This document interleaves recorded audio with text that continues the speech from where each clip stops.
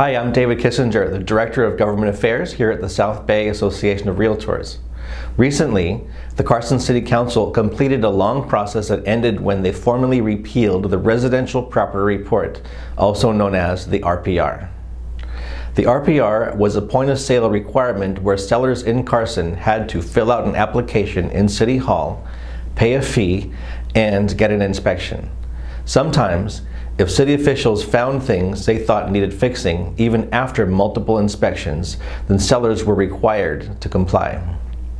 While SB AOR fully supports having safe and inhabitable homes, we have found that point of sale methods such as the RPR are ineffective while still adding risk and cost to the sales transaction. We are pleased that the Carson City Council eliminated the RPR requirement.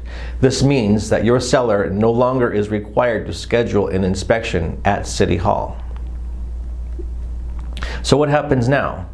If escrow closes before September 20th, 2019, then your seller is still required to follow the existing requirement.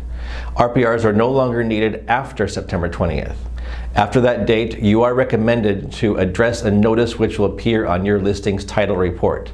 Every residential property in Carson has a notice on title describing the RPR requirement. City officials are not planning to remove all those notices on each property.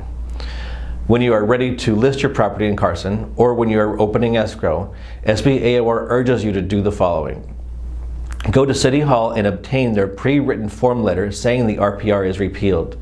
Then bring that letter to the Los Angeles County Registrar Recorder's Office in order to remove the notice on title. There may be a fee of at least $8. This is a new process for all sellers in Carson. SBAOR does not give legal advice, and so we urge you to work with your title representatives and legal counsel to be sure that your listing has clean title.